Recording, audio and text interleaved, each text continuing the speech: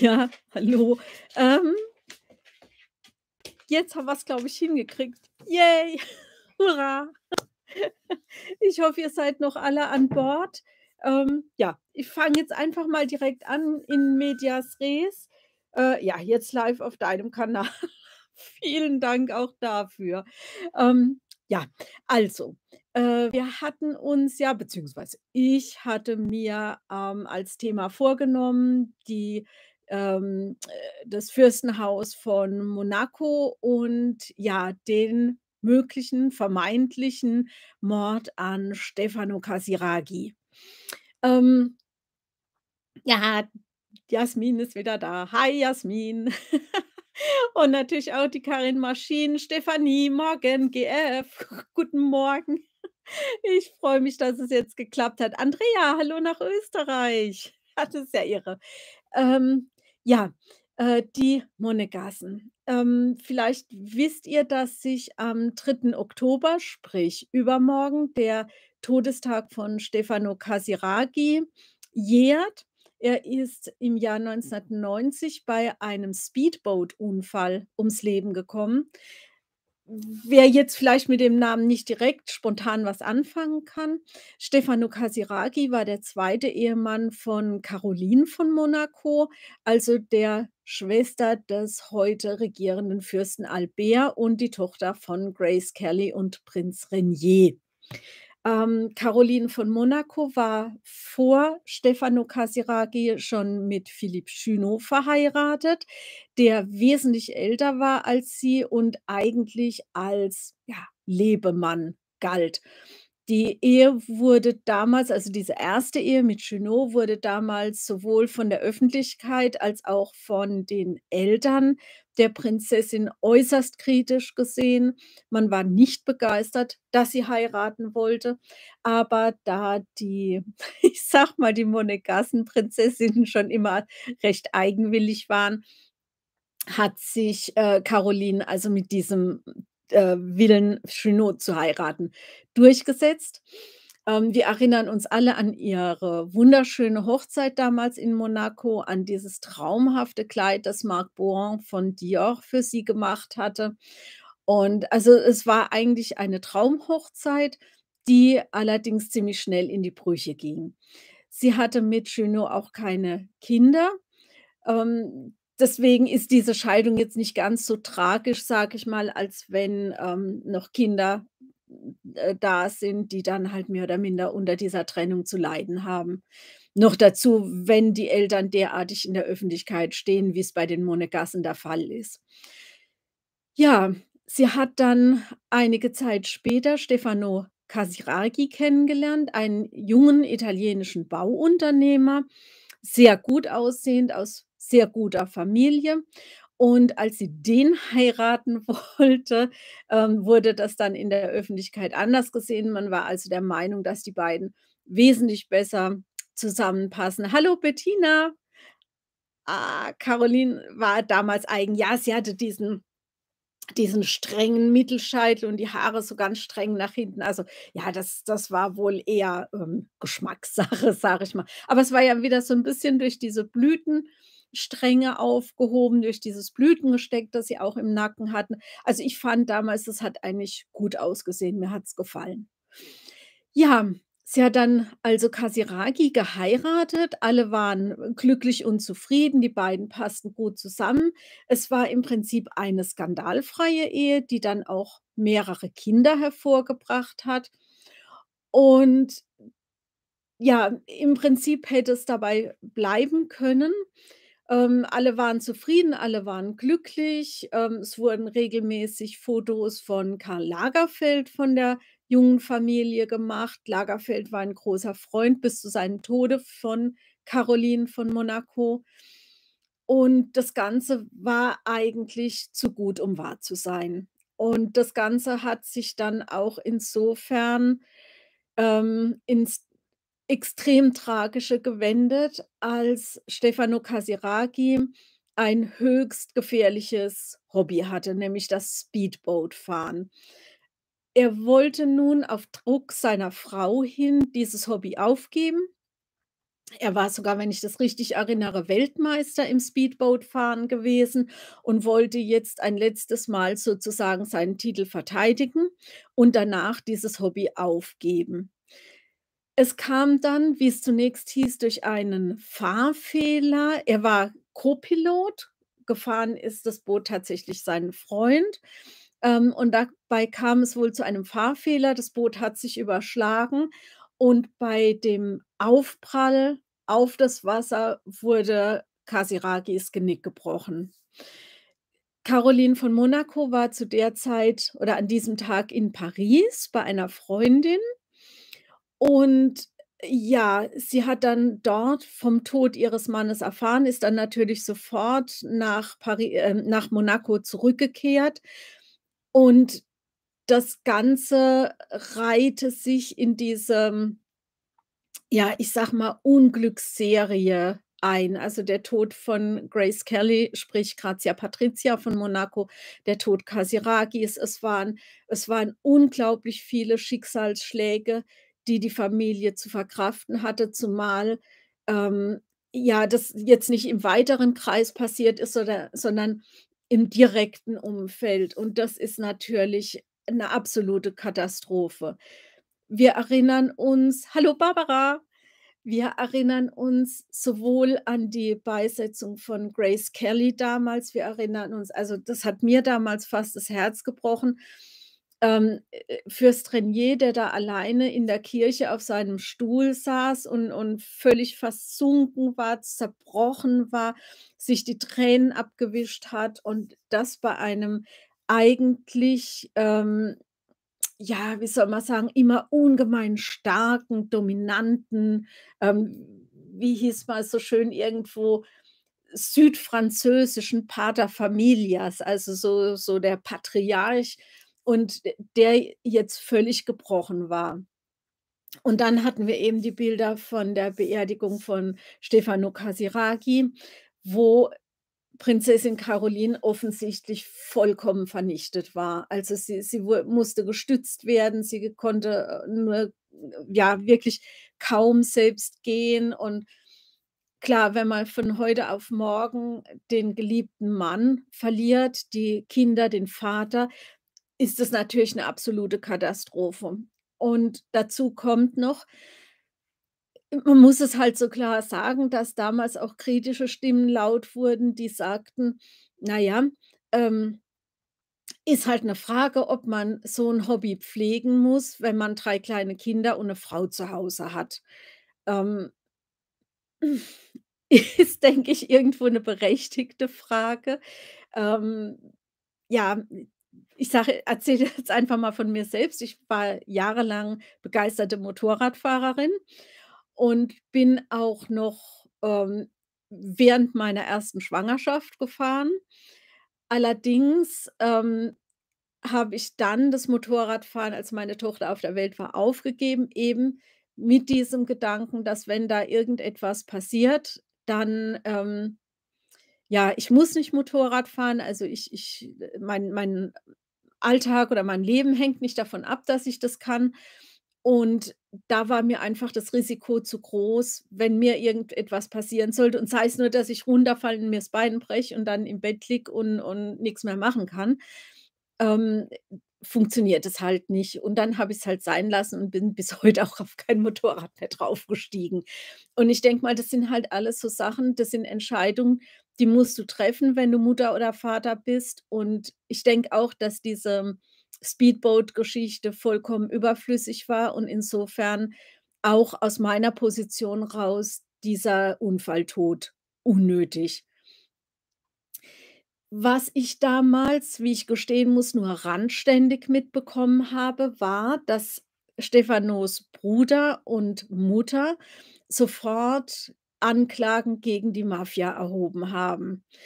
Ähm ja, genau, äh, stimmt. Das war der 1. Soloauftritt von Prinzessin Diana, die ja kurz vorher bei ihrem 1. offiziellen Auftritt nach der Verlobung, äh, in London mit äh, Fürstin Grazia Patrizia zusammengetreten ist, wo die ihr gesagt hat, sie würde ihr gerne Besseres sagen, aber es würde sogar noch schlimmer werden, als Diana sie gefragt hat, ob dieses Medieninteresse denn irgendwann mal abebben würde.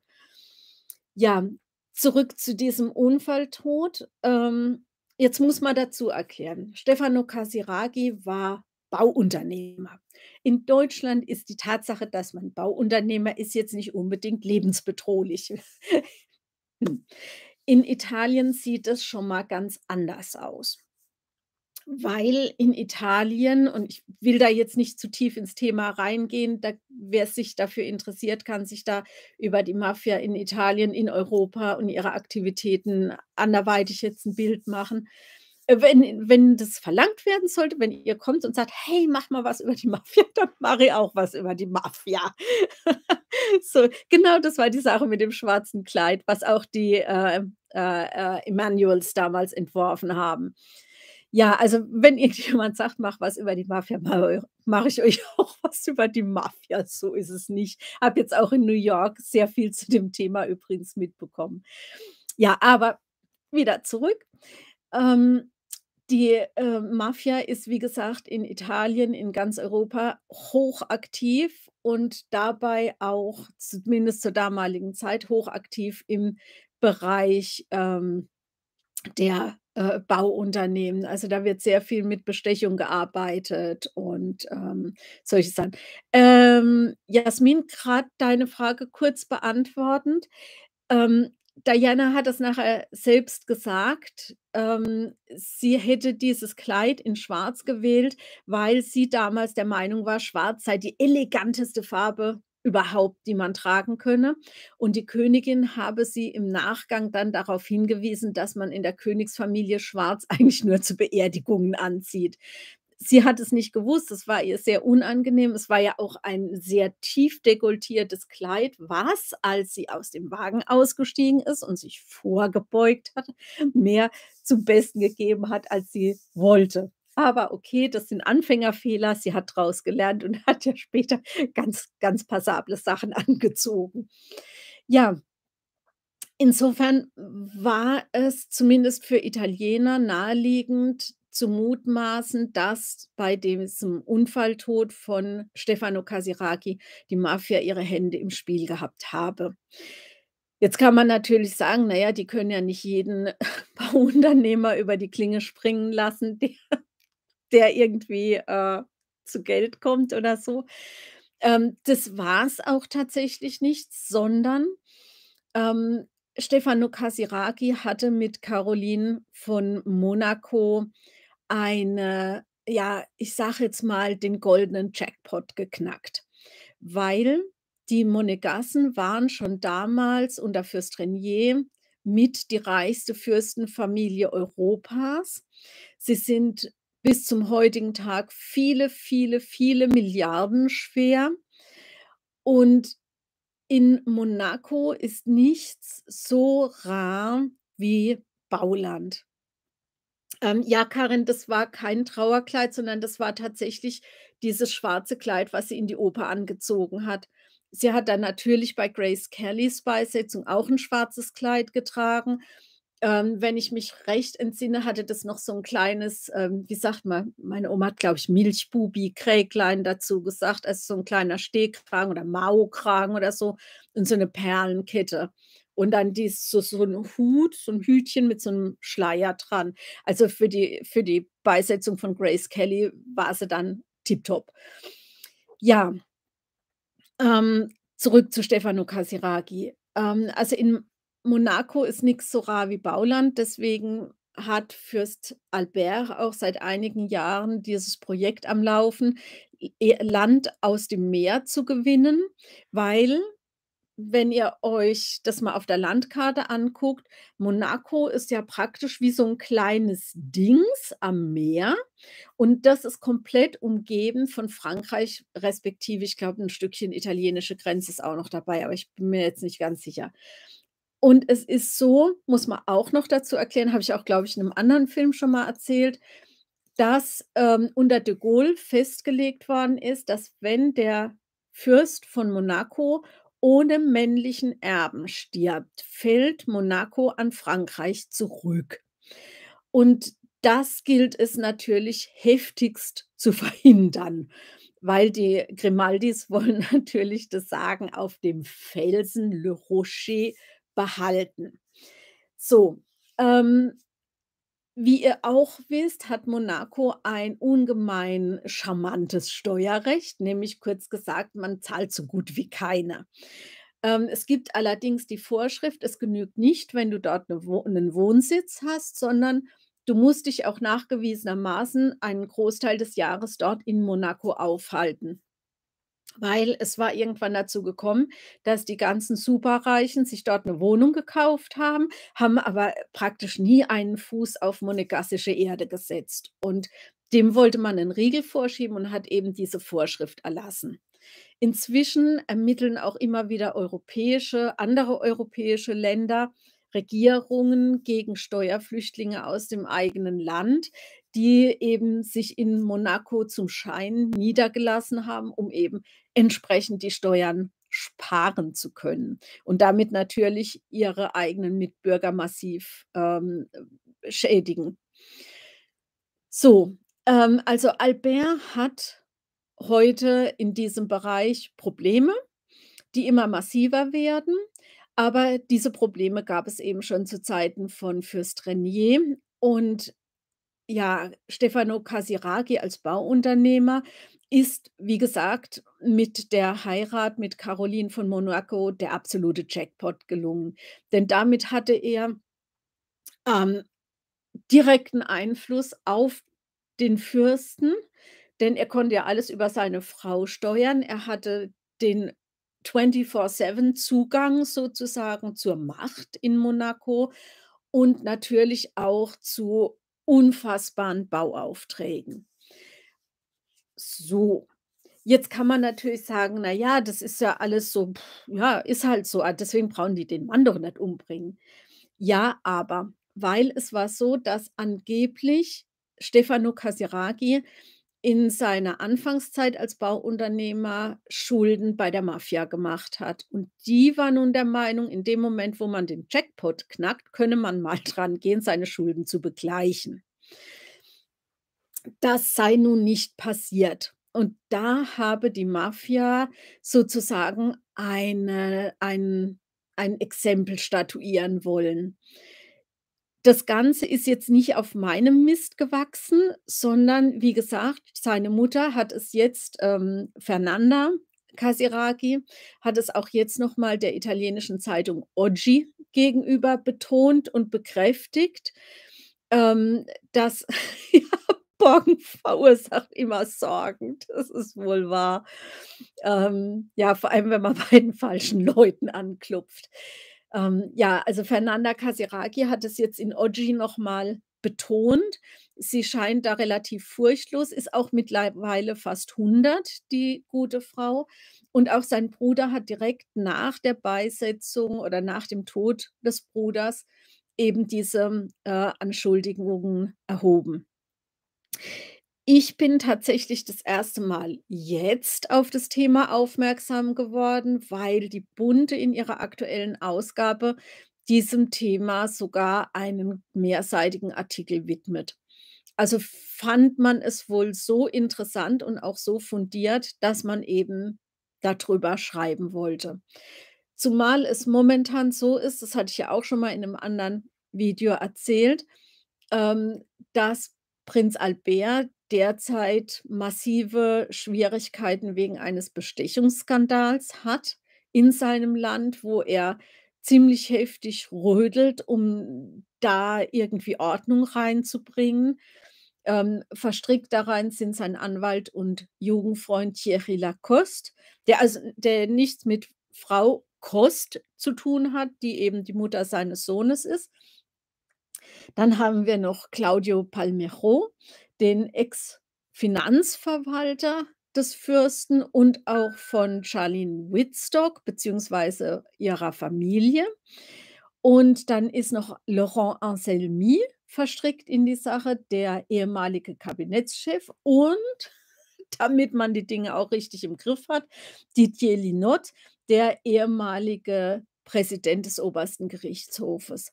Das heißt, wir haben hier ein eine äh, ein Netzwerk der wohl einflussreichsten Männer in Monaco, die um den Fürsten herum ein unglaubliches Bestechungssystem aufgebaut haben und sich selbst ungeheure Vermögen angehäuft. Ich persönlich muss sagen, ähm diese ganzen angeblichen Versuche des Fürsten, diese Dinge aufzuklären, diese Bestechung zu beenden, die Leute entsprechend dem Gesetz zuzuführen, halte ich für nicht besonders, ähm, nun ja, energisch. Genau, ja, Karin, absolut 'n richtiger Sumpf. Zumal man bedenken muss, dass es ein winzig kleines Land ist, ja, wo praktisch jeder jeden kennt auch noch, aber eben auch ein ungemein reiches Land beziehungsweise eine ungemein reiche Fürstenfamilie. Also, da geht's um um das mal wirklich in in Kontext zu bringen, da reden wir nicht von 'n paar 100.000 €, da reden wir von zig Milliarden, um die es da geht.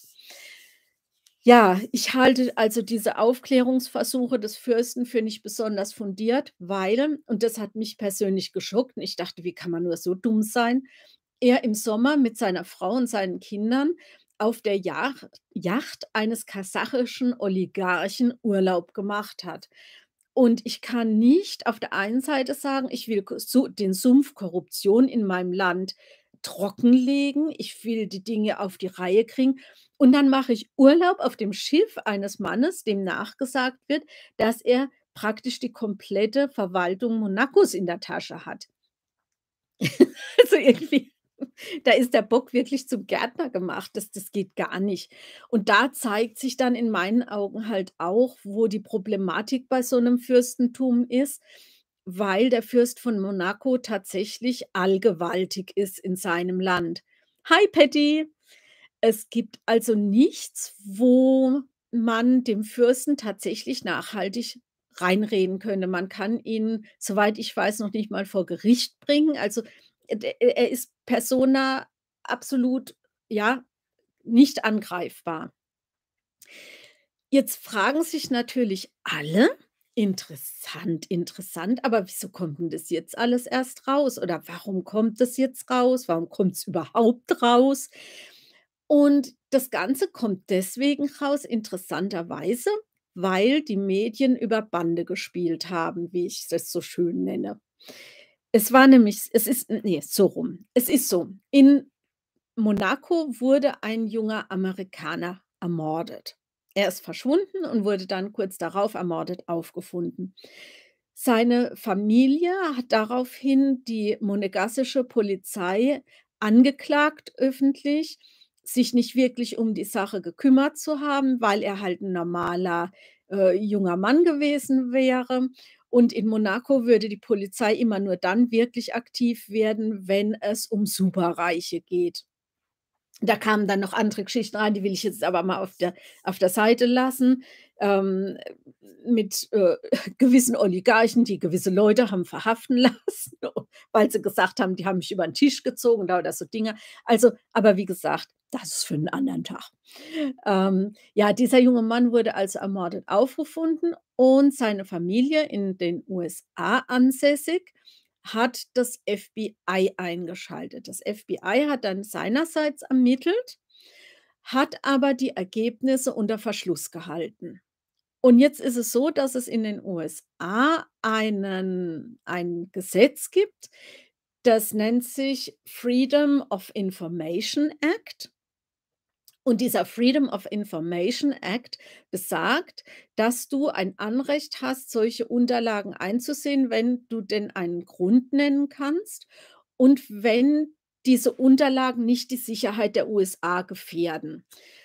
Und dann war's so, dass die Journalisten des FBI gebeten haben, unter anderem, glaube ich, die Washington Post, diese Ermittlungsergebnisse von Monaco oder derzeitigen Ergebnisse vorzulegen.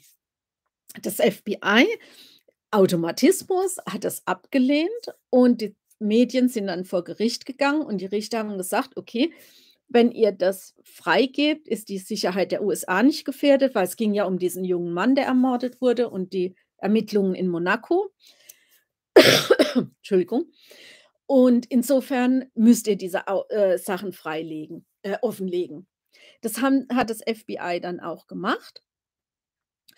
Und somit wurden diese Unterlagen publik und damit wurde auch publik, was für ein ungeheurer Sumpf in Monaco herrscht, weil eben seit Jahrzehnten, ähm, weder Fürst Renier noch Fürst Albert tatsächlich effektive Maßnahmen gegen diese Bestechlichkeit, gegen diesen diese Betrugsfälle und, und, und, ähm, durchgesetzt haben. Sie haben nie aufgeräumt in ihrem Land, sondern haben im Prinzip diesen Wildwuchs, ähm, einfach vor sich hin grummeln lassen.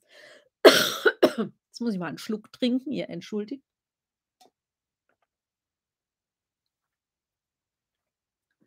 Mein Mann hat sich nämlich etwas erkältet. Also etwas hängt drin wie Sau. Und ich hoffe jetzt die ganze Zeit, er hat mich nicht angesteckt. Weil, wenn man immer aufeinander hockt, ist es ja so eine Sache. So, Männergrippe. Ne, ne, also ihn hat es echt erwischt. Es ist, glaube ich, jetzt in den ganzen Jahren, die wir zusammen sind, ist, glaube ich, jetzt das zweite Mal erst, dass er erkältet ist. Ähm, ja, so, zurück nach Monaco. Und deswegen, weil eben diese FBI-Unterlagen freige äh, offengelegt wurden, kam eben jetzt dieser ganze Stein ins Rollen und Prinz Albert hat sich dazu verpflichtet gesehen oder bemüßigt gesehen, jetzt mal anzufangen aufzuräumen, was, wie ich finde, eben mit diesem Sommeraufenthalt auf der Oligarchenjacht ähm, absolut äh, ad absurdum geführt wurde. Es hat sich auch bislang jetzt noch nicht so richtig viel getan und das in 'ner Situation, wo ein Fürst eben alle Macht in Händen hält. Insofern denke ich, dass so wie auch Frau Casiraghi Senior denkt, jetzt doch vielleicht auch das ein oder andere über diesen Tod von Stefano Casiraghi an das Tageslicht kommen könnte durch diese Ermittlungen des FBI. Weil das FBI, denke ich, ist dafür berühmt, dass sie jetzt nicht besonders zartfühlend vorgehen, sondern wenn sie der Meinung sind, dass irgendwo was rauszufinden ist, dann gehen sie da auch dahin, wo es weh tut.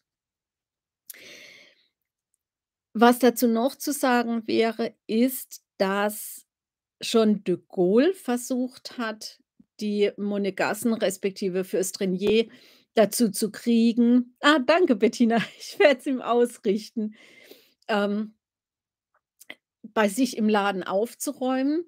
Er hat damals sogar eine Blockade Monacos, ähm, in die Wege geleitet, ist aber, wie man sehen kann, nicht wirklich weitergekommen mit dem Thema.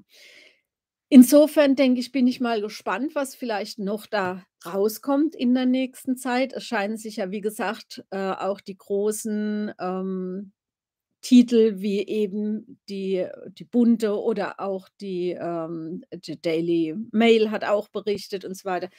Also, von daher, äh, scheint Interesse bei den Medien da zu sein.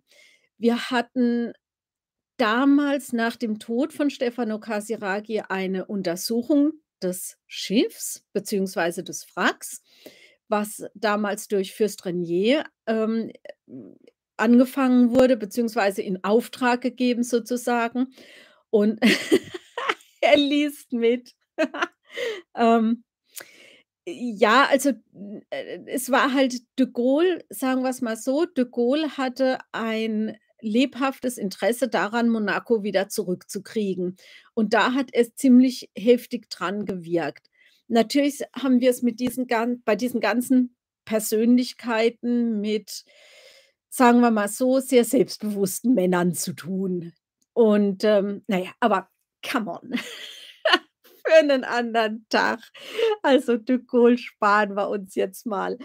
Ähm ja, ähm damals kam also bei dieser Untersuchung des Wracks nichts raus, von wegen, dass manipuliert worden wäre und so weiter.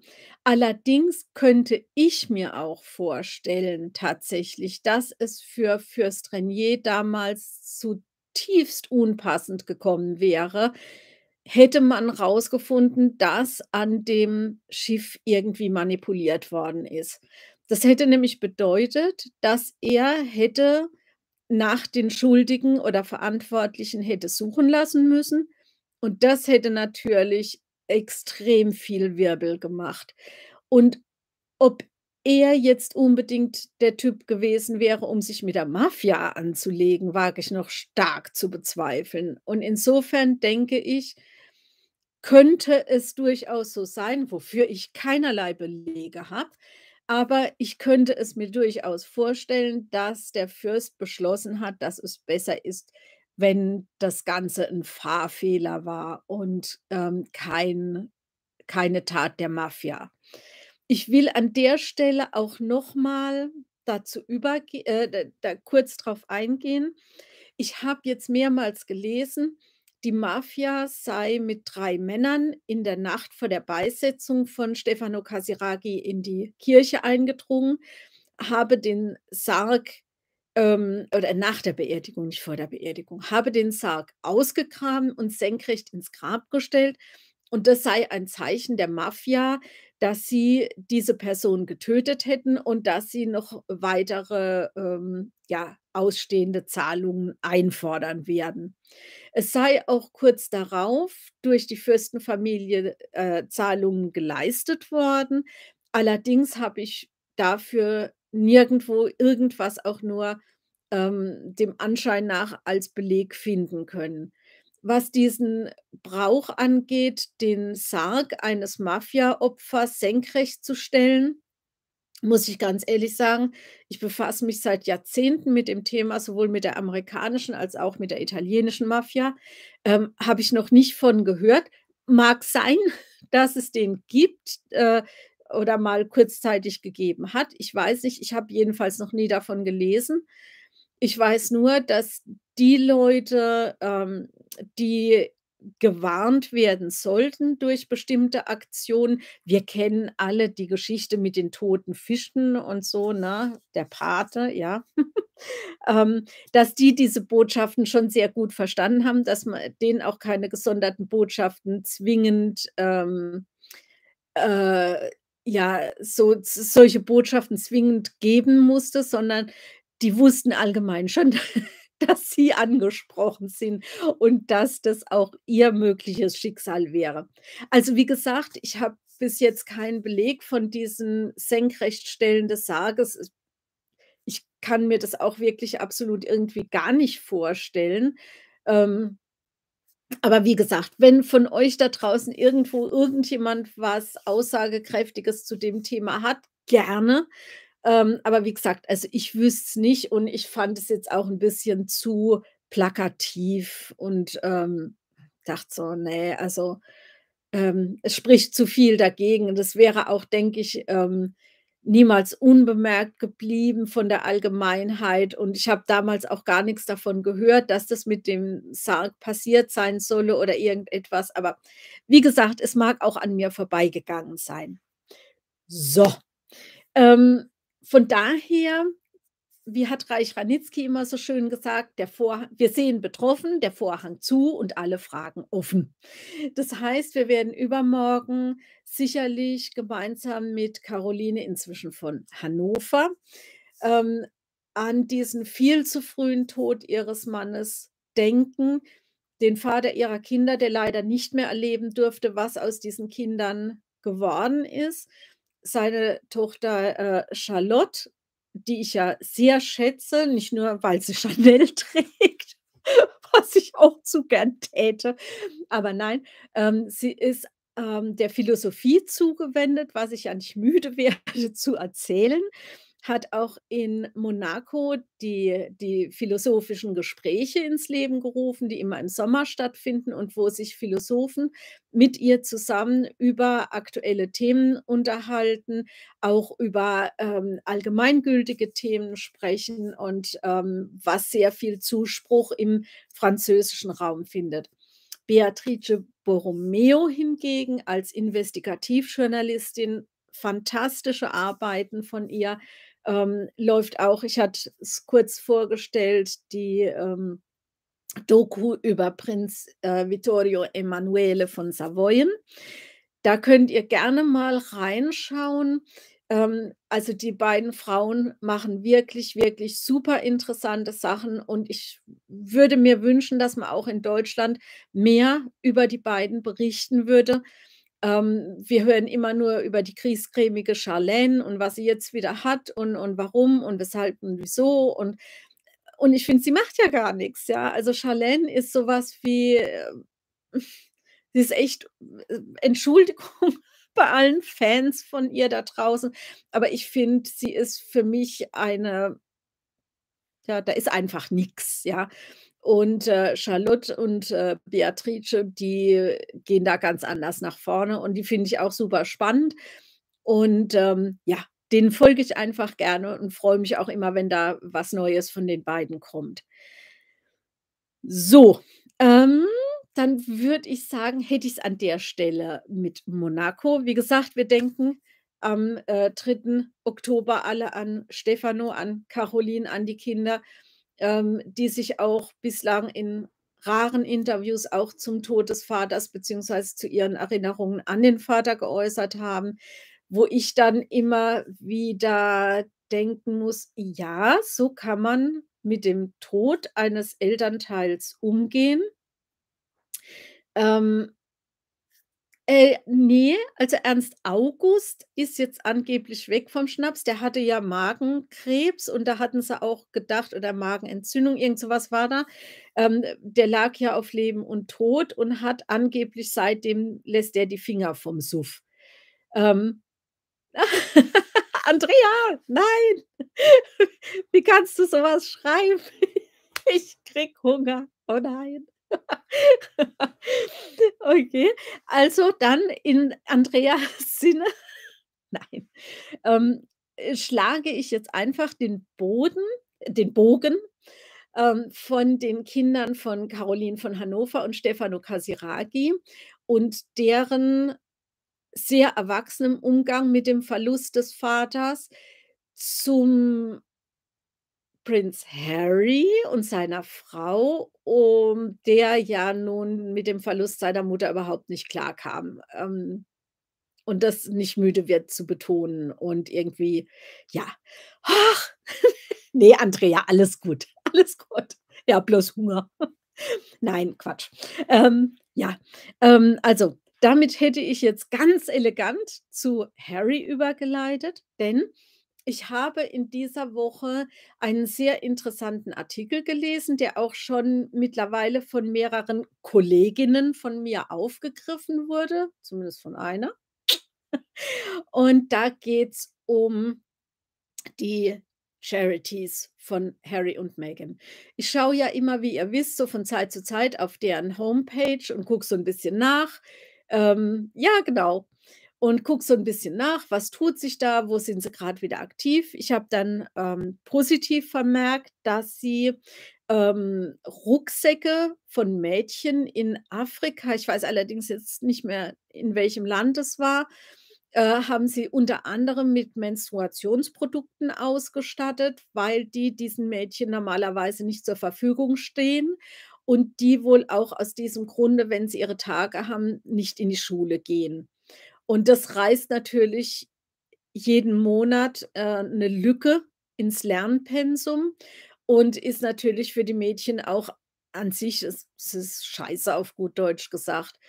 Und da haben sie jetzt eben Rucksäcke ausgeteilt an Mädchen, wo eben unter anderem solche Menstruationsprodukte wie Binden und so weiter drin waren. Das fand ich eine super gute Aktion. Ähm, die wird teilweise auch von anderen ähm, ja, Jasmin, da gebe ich dir allerdings recht. Ähm, die werden auch von anderen Wohltätigkeitsorganisationen gemacht, aber das ist natürlich was, wo man im Prinzip kontinuierlich dranbleiben muss, weil, ja, Frau halt im gebärfähigen Alter so was halt jeden Monat hat, ja. Und, ähm, von daher aber ich denke trotzdem, es war 'ne sehr gute Aktion, hat mir gut gefallen und, ähm, ja, können sie ruhig weitermachen so. Was ich dann allerdings echt, echt blöd fand war, als eben jetzt in diesen Artikeln rausgekommen ist, dass ein E-Mail-Verkehr zwischen der Archwell-Organisation, also der Wohltätigkeitsorganisation von Harry und Meghan, an eine Schule in Harlem bekannt wurde, respektive an deren, ähm, Lehrkörper, nämlich die Schule PS 123 eben in New York, Harlem. Und zwar hat Meghan dort einen Auftritt gehabt zusammen mit Prinz Harry im Jahr 2021. Da haben sie sich engagiert für das Lesen an Schulen. Das ist auch toll, ähm, weil das sicherlich 'n Thema ist, was jetzt nicht nur in Harlem aktuell sein dürfte, sondern überall. Denn die einzige Zeit, wo ich so mitgekriegt habe, wo wo die Jugendlichen wirklich in Massen sich in Buchhandlungen begeben haben, war zu Harry-Potter-Zeiten, noch bevor die Filme rauskamen. Da war's dann auch schon wieder rum. Nein, Spaß. Ähm, also, das ist 'n sehr wichtiges Thema, für das sich ja auch viele Royals einsetzen, nicht nur in Großbritannien. Ähm, auch die europäischen Royals sind ja da immer wieder aktiv. Barbara Bush, die, ähm, ehemalige Präsidentin Präsidentengattin, hat sich auch für dieses Thema sehr, sehr stark gemacht, hat sich da sehr eingesetzt. Dolly Parton, die ihr vielleicht als, ähm, Countrysängerin und Autorin kennt, ähm, hat seit Jahren ein Projekt, das sich, glaube ich, „1,000,000 Books“ nennt und die regelmäßig Bücher an Schulen verteilt, die auch immer wieder in Schulen auftritt und mit den Schülern zusammen liest und die halt dieses diese dieses Lesen fördert. Und das sind großartige Geschichten und ich fand, ähm, im Prinzip auch diesen Auftritt in Harlem toll und 'ne gute Idee. Aber in diesem E-Mail-Austausch wurde vom Team von Archwell genau, Camilla auch, die ist da auch sehr allerdings, ähm, äh, guckt die allgemein. Also, die guckt nicht nur auf Jugendliche, sondern die Königin schaut auch allgemein, dass allgemein in allen Altersgruppen der Gesellschaft mehr gelesen wird, was ich finde, auch durchaus 'n 'n Punkt ist. Und da wird sie ja auch zum Beispiel von sehr vielen Autoren, berühmten Autoren unterstützt, die da bei The Queen's Reading Room mitmachen und, äh, die da sehr aktiv sind. Da könnt ihr auch gern mal auf Instagram schauen. Da ist The Queen's Reading Room hat dort 'n Account und da seht ihr dann auch immer so kleine Filme, wo die, ähm, Autoren, Schauspieler, ähm, Lesungen kleine Lesungen machen oder eben, ähm, irgendwas dazu beitragen, eben zum Bewerben. Ja, zurück nach Harlem. Es gab also von der äh, vom Team von Archwell eine, ähm, Mail an diese Schule und da musste man sich schriftlich dazu, ähm, verpflichten, im Nachgang sich nicht negativ über dieses Event oder über das Herzogspaar zu äußern. Und das ist natürlich schon wow, das ist 'n echter Sprung, wenn man mich fragt, weil, ähm, äh, so was macht man eigentlich jetzt gar nicht, ne? Ähm, also, diese Non-Disclosure, ähm, die, äh, besagen, dass man sich eben im Nachgang zu der Sache XY oder der Person XY nicht äußert, ähm, sind in den USA, muss man sagen, gang und gäbe, aber nicht bei solchen Events. Also, d das macht macht man halt nicht, ja? Wenn man Vier-Augen-Gespräch mit'm Präsidenten hat, dann, ähm, ist man natürlich im Nachgang gehalten, da drüber nix zu sagen, aber in so 'nem Fall hä? Und, ähm, man hat der Schule auch klargemacht, dass wenn das so nicht unterschrieben würde, dann würde auch diese Veranstaltung nicht stattfinden. Daraufhin haben natürlich alle unterschrieben und Meghan und Harry konnten dann einlaufen. Nein, es musste nämlich noch und das muss man sich jetzt mal auf der Zunge zergehen lassen. Ähm, Archewell hat in Megans Auftrag der Schule gesagt, was für Sitzkissen organisiert werden müssen und in welcher Farbe. Und Meghan hat dann auf so einem Sitzwürfel gesessen, in so einem, wenn ich mich recht entsinne, war das, glaube ich, so ein lila Ton oder so. Und, ähm und die Kinder und Harry saßen ihr zu Füßen auf flachen Sitzkissen. So, und die Begründung dafür war auch noch, dass diese Farben dem ästhetischen Bedürfnis der Herzogin entgegenkämen beziehungsweise entsprächen. Ja, wer die Deko zahlen muss, Andrea, das ist ja eine sehr gute Idee. Rat mal. Die Schule natürlich. Aber die Schule wurde auch dadurch geehrt, dass Meghan tatsächlich einen Kaschmirmantel im Wert von 6.000 getragen hat und dazu ein paar Hosen im Wert von 1.700 So, und jetzt würde man sagen, okay, wenn das jetzt so 'ne Schule für superreiche Kinder wäre, von Anwälten, Adligen, Unternehmern und weiß der Teufel was alles. Ähm, äh, dann äh, hätte man ja noch gesagt: „Okay, da tragen die Schüler jetzt wahrscheinlich am Handgelenk mehr Geld als die Meghan am ganzen Leib.“ Aber tatsächlich ist es so, dass in dieser Schule in Harlem 90% der Kinder schwarz sind, was schon mal darauf hinweist, dass wir es mit keiner sozial hochgestellten Schule zu tun haben. Und 95% der Schülerinnen und Schüler dieser Schule sind qualifiziert für kostenloses Schulessen. Das heißt, sie kommen aus einer Familie, die so arm ist, dass sie nicht mal das Schulessen wir haben in USA Ganztagsschulen dass sie nicht mal für das Schulessen bezahlen können. Das heißt, es gibt dann immer, ähm, Privatleute, es gibt staatliche Einrichtungen und so weiter, die, äh, Geld für dieses Schulessen geben. Und wenn du dann dafür qualifiziert wirst, weil du eben aus entsprechend armem Hintergrund kommst, dann bekommst du eben dieses Essen bezahlt. Und in dieser Schule sind also 95% der Kinder dafür qualifiziert. Jetzt kann man natürlich sagen, ich habe jetzt in letzter Zeit auch viele von diesen Diskussionen mitbekommen, weil sie eben immer so teuer, aber wenig, äh, gut gekleidet ist, also, ähm, äh, Stichwort Knitterfalten. Und ich habe dann immer so an an Evita Peron gedacht, die mal auch mal gesagt hat, ja, man könne nicht nachvollziehen, dass sie in Dior-Kostümen zu den Ärmsten der Armen ginge. Und sie sagte immer, ähm, sie würde das machen, um auch den Armen zu zeigen, dass man es nach oben schaffen kann, weil sie ja selbst auch aus allerarm ärmlichsten Verhältnissen stammte und auch als Schauspielerin nicht so wirklich erfolgreich war und sich dort hauptsächlich von Mate-Tee ernähren musste. So, vor Kurzem hat mir auch noch jemand, ähm, ges äh, das Zitat der Queen Mum mit auf den Weg gegeben, die während des Krieges bei ihren Besuchen bei ausgebombten Familien auch auf ihre schicke Kleidung angesprochen wurde.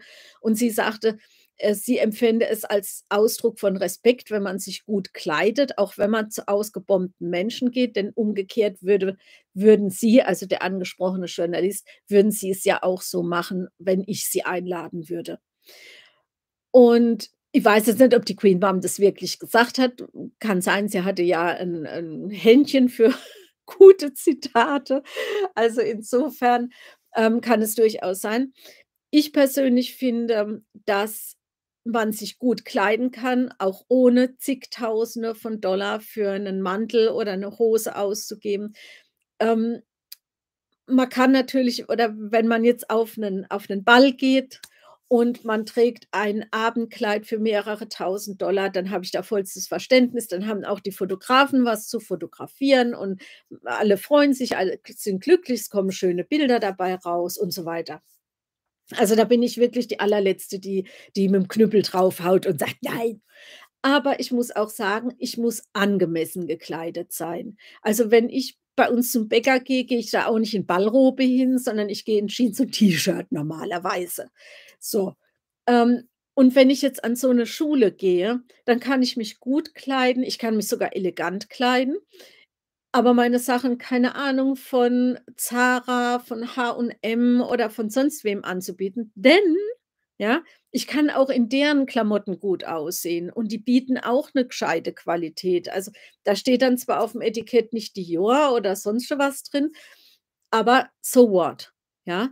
Und dadurch bin ich ja dann gleich auch noch mal sozusagen, ja, Vorbild für die Leute, ja? Ich kann die sie gucken mich an und sagen: „Oh, das steht ihr gut, ne? Kann ich ja vielleicht auch mal ausprobieren“, ja? Einfach den Style nachmachen.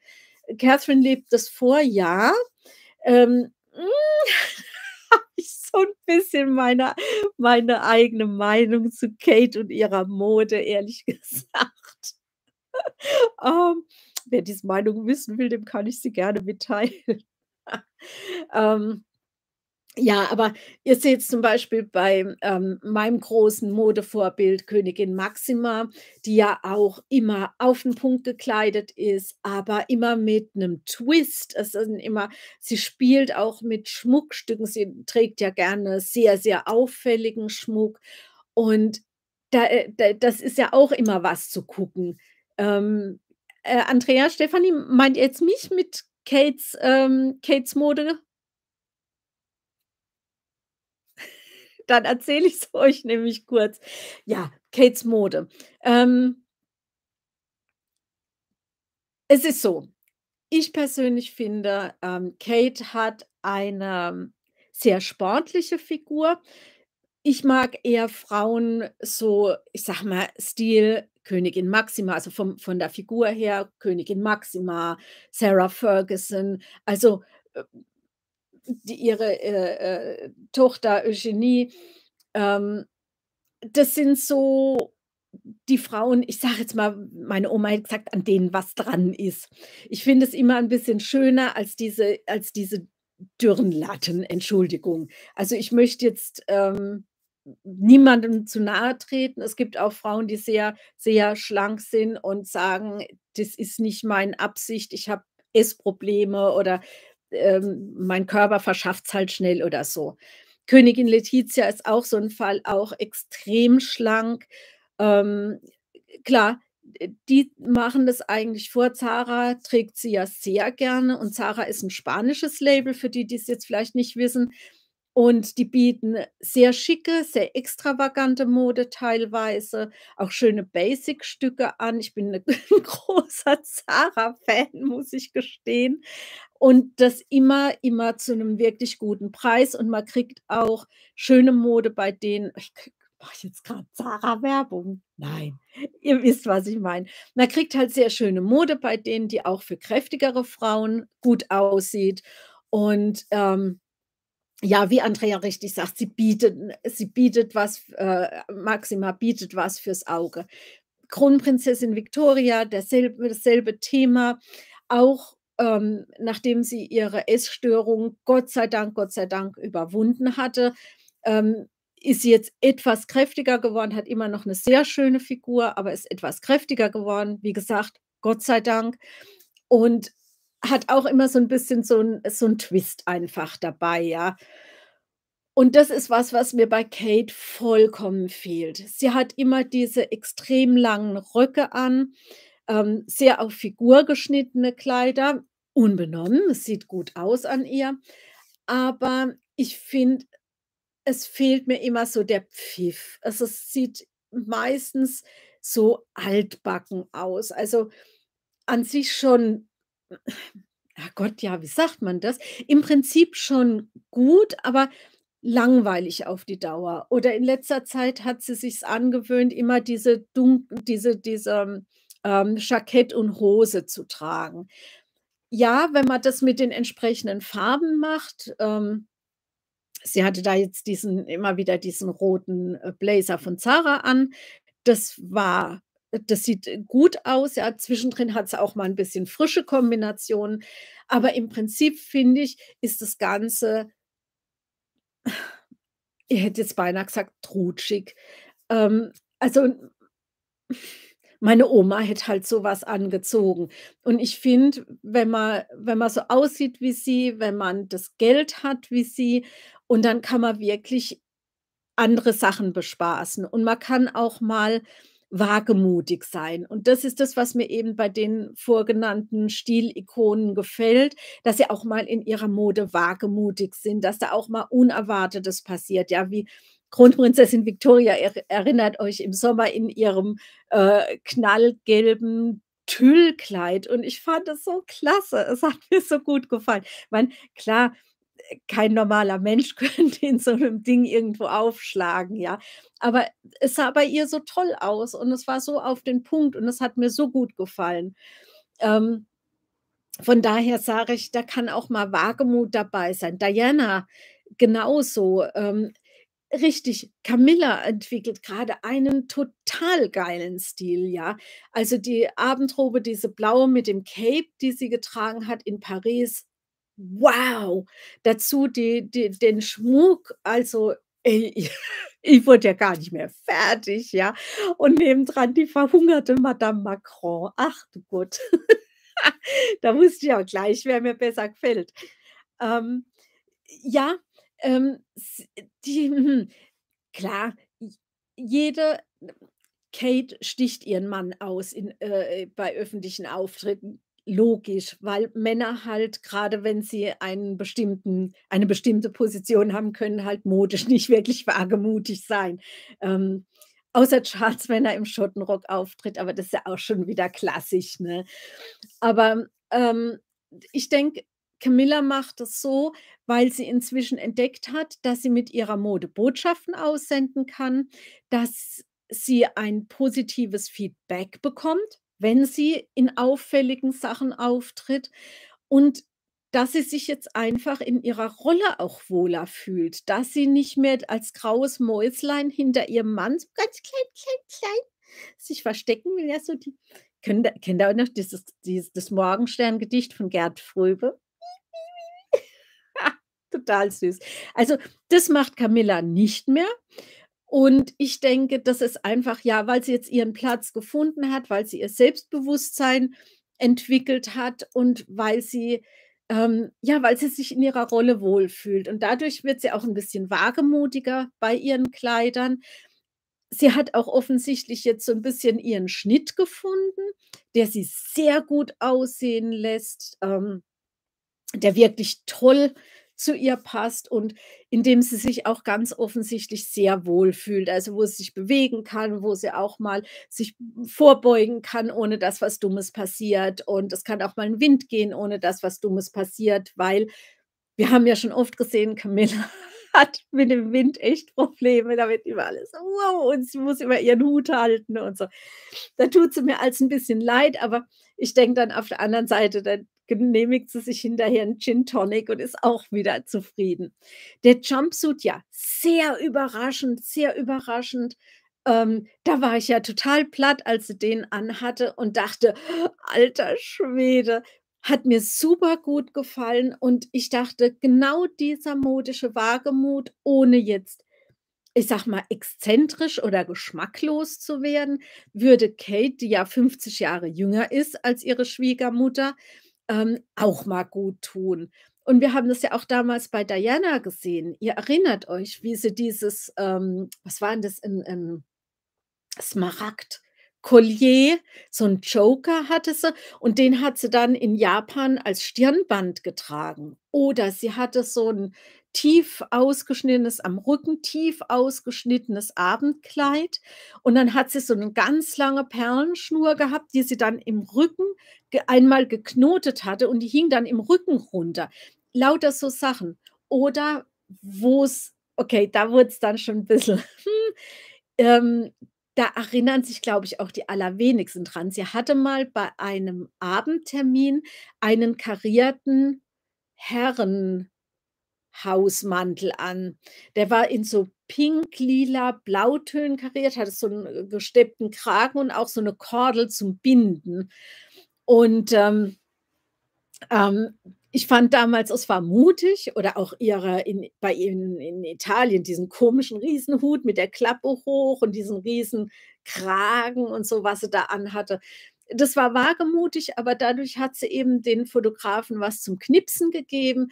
Es gab hinterher, äh, Fotos, über die man reden konnte, 'ne Mode, über die man diskutieren konnte. Und, äh, das das ist es, wa was die ganze Sache ausmacht. Ich meine, deswegen, sind wir mal ehrlich, sitzen wir hier und sprechen über über die Royals, einfach auch, weil's schöne Bilder gibt und weil wir schöne Kleider sehen und tollen Schmuck und so. Und wem das nicht gefällt, mein Gott, der ist nicht hier am Kanal dabei und der guckt auch nicht in die entsprechenden Dokus. Ähm, aber uns macht's einfach Spaß und, äh, das ist, finde ich, die Hauptsache. Ja, jetzt haben wir 'n Riesenausflug gemacht zur königlichen Mode. Ach, ich glaube, das werde ich mal zu 'ner ganzen Sendung machen, oder? Das fände ich jetzt grad mal total rasant. Ähm, ja, würde ich gern noch 'n ganz kleinen Moment zurückkommen auf Meghan und dann das Ganze abschließen. Ähm, ich fand eben diesen Auftritt in dieser Schule vor allem also, jetzt nicht mal so sehr wegen der teuren Klamotten und wegen dem, äh, Non-Disclosure Agreement und was weiß ich. Das war's noch nicht mal, was mich wirklich gestört hat. Wirklich gestört hat mich das Buch, das sie vorgelesen hat, nämlich „The Bench“. Ähm, das ist, äh, ihr, äh, ziemlich untergegangen, denn Meghan hat uns ja auch schon, wie ihr Mann auch, mit Büchern beglückt, nämlich mit „The Bench“ und „The Pearl“. Ähm, „The Pearl“ ist irgendwie 'n Kinderbuch über 'n Mädchen, das da irgendwelche Abenteuer erlebt. Und „The Bench“ ist ein Buch, bei dem die Welt sich nicht einig ist, ob's jetzt 'n Kinderbuch ist, weil von der Aufmachung her ist es wohl eins. Von der Thematik her richtet sich's wohl aber eher an junge Erwachsene, Schrägstrich Erwachsene.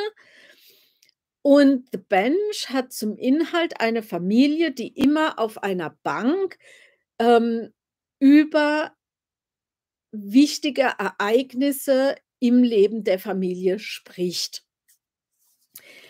Und die Illustration ich habe mal reingeguckt, ähm ja, stimmt. Karin, du hast recht. Rechnen und ich funktionieren nicht zusammen, fragt mal meinen alten Mathelehrer. Ähm, ja, ähm, das Bizarre ist, ich habe mir die Illustrationen angeguckt, die werden allenthalben über den grünen Klee gelobt, kann ich auch, haben mir supergut gefallen. Merkwürdigerweise besteht diese Familie aus 3 Personen, einer Mutter, die komischerweise aussieht wie Meghan, einem Soldatenvater, der komischerweise aussieht wie Harry und einem Kind. So. Und d davon abgesehen, dass Harry schon lang nicht mehr in der Armee war, als er Vater wurde, ähm, ist das ganze Buch ja, es hinterlässt einen eigentlich ratlos. Man denkt sich: „Äh, warum, wieso, weshalb?“ Und das ist der Punkt, wo ich dachte, wenn ich in eine Schule gehe und ich will das Leseinteresse der Kinder wecken dann nehme ich doch tunlichst nicht mein eigenes Buch, das ich geschrieben habe, sondern ich nehme doch dann ein Buch, das jemand anderer geschrieben hat, der, ähm, vielleicht ein qualifizierter oder qualifizierte Autorin ist. Ähm, also, was weiß ich, ich würde mich dann hinsetzen und würde halt, ähm, aus Pipi Langstrumpf vorlesen oder aus Harry Potter vorlesen oder so, ja?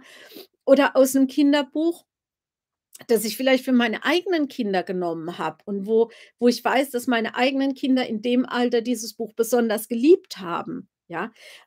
Was aber Meghan macht, ist, sie setzt sich mit ihrem eigenen Buch hin und liest aus diesem Buch den Kindern vor. Und da habe ich gedacht: „Mädel, eben hat es überhaupt nix mehr mit dem Thema, dass du die Kinder zum Lesen kriegen willst, zu tun. Eben ist es nur noch Eigenwerbung.“ Nix anderes.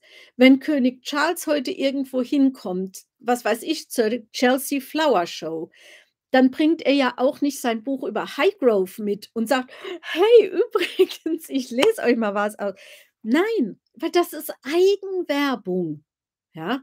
Und das sind immer das sind so Sachen, wo ich einfach sage das sind so Momente. Ich werde oftmals gefragt: „Ja, äh, wie wie kannst du dir da überhaupt 'n Bild machen?“ Oder: „Wieso sagst 'n so was? Du kennst die ja gar nicht persönlich.“ Oder: „Ja, geschrieben wird viel und das kannst du nicht einfach weitertragen.“ Das mache ich nicht. Ich gucke mir an, was diese Leute tun und was sie nachweisbar sagen. Und wenn sich Meghan bei diesen Kindern in Harlem hinsetzt und liest aus ihrem eigenen Buch und nicht aus'm Buch, das sie eben besonders gut findet für Kinder aus diesem Alter, dann ist es einfach Eigenwerbung. Und dann heißt es einfach: „Hey, ich hebe mein Buch in die Kamera, tue so, als würde ich hier was Gutes tun.“ Na ja, wenn was Gutes dabei rumkommt und die Kinder fangen jetzt an zu lesen, ist auch schön, dann habe ich nix dagegen, aber Hauptsache, äh, bitte mich mit meinem Buch fotografieren, ja, und bitte kauft's mein Buch und so. Das geht einfach nicht, macht man nicht. Und das ist der Moment, wo ich sage, da ziehen sich Leute die Maske vom Gesicht. Oder wenn äh, bin ich letztens in in auf Instagram ziemlich attackiert worden, weil ich's gewagt habe, was gegen Meghan und ihr soziales Engagement zu sagen. Aber wenn diese Frau nach Südafrika reist, in 'n Slum geht und, ähm, äh, äh, dort mit den Leuten spricht, die jeden Tag ums Überleben kämpfen, die das unglaublich kreativ tun, die unglaublich kreativ in ihrem eigenen Leben was auf die Beine stellen. Und sie wird hinterher interviewt. Und der Interviewer sagt zu ihr: „Wie geht es Ihnen, Ma'am?“ Und sie sagt: „Oh, wie schön, dass auch mal jemand fragt, wie es mir geht.“ Äh, dann sitze ich da und denke so: „Du hast es nicht verstanden, oder? Hast du hast du eben grade gesehen, wo du gewesen bist?“ Wenn sie jetzt gesagt hätte: „Mir geht's jetzt momentan gar nicht gut, weil ich war in diesem Slum und, ähm, das hat mich echt jetzt mitgenommen und ich“ dann hätte jeder hätte sie umarmt und hätte gesagt: „Mei, du hast echt wirklich Empathie am Start“ und so. Aber das hat sie nicht gemacht. Sie so: „Oh, wie schön, dass mal jemand nach mir fragt.“ Und ich dachte Ah, nein. Es ist wow. So. Und insofern, ähm, möchte ich jeden bitten, der sich mit diesen Themen befasst, so wie wir es hier in unserer Runde tun, einfach zu gucken, was machen diese Leute? Was sagen diese Leute? Und das ist oftmals so viel sprechender als das, was andere sagen, dass sie denken, dass sie täten oder so, ja? Also, einfach auf die Fakten gucken, auf das gucken, was die Leute machen, auch 'n bisschen hinterfragen, weil ich habe diese Leseaktion von Meghan zuerst auch wohlwollend gesehen, habe gedacht: „Ja, coole Aktion.“ Und erst als jetzt dieses mit den E-Mails aufkam und ich da wieder so 'n bisschen nachrecherchiert habe, ähm, habe ich gedacht: „Ne, das ist komplette Eigenwerbung, das ist nix anderes.“ Und und dass diese bestimmten Sitzkissen und so was, äh, angeschafft werden mussten, das hat einfach den Hintergrund, dass die ihr zu Füßen sitzen, was ja auch schon mal so 'ne äh, Geschichte ist, ja, so ihr da unten, ich hier oben. Das finde ich schon mal ungut. Und dann, dass das farbig zum Outfit von ihr passen muss, weil das ihrem ästhetischen Empfinden entspricht. Also, Leute, hm, wer da noch was Gutes dran findet, der dem ist, glaube ich, nicht zu helfen. So, jetzt gucke ich mal kurz auf die Uhr. 1 Stunde 15 Minuten. Let's call it a day. Ich habe mir überlegt, ich werde euch 'n anderes Mal 'n bisschen noch was über, ähm, meinen Amerikaurlaub erzählen. Ähm, und, äh, vielleicht auch mal so 'n paar Fotos teilen, die ich dort gemacht habe. Äh, ich war hochbegeistert, äh, schockverliebt. Ähm, richtig tolles Land. Und deswegen interessiert's mich umso mehr wir wollen nämlich nächstes Jahr nach Kalifornien. Ich werde mal mit meinem Mann reden, ob wir mal nach Montecito fahren und mal klingeln bei den Sussexes und gucken, ob sie uns zum Tee einladen. Das wäre der Witz des Tages. Aber das machen sie ja offensichtlich nicht, denn sie haben ja sogar 'nen Nachbarn abgeschmettert, der extra alte Fotos zusammengestellt hatte für die beiden, damit sie so 'n so 'ne Idee kriegen, ähm, wie das früher ausgesehen hat, wo ihr Haus jetzt steht und, ähm, ja, wie das wie das so alles war und ihnen da so 'n bisschen Eindruck zu geben.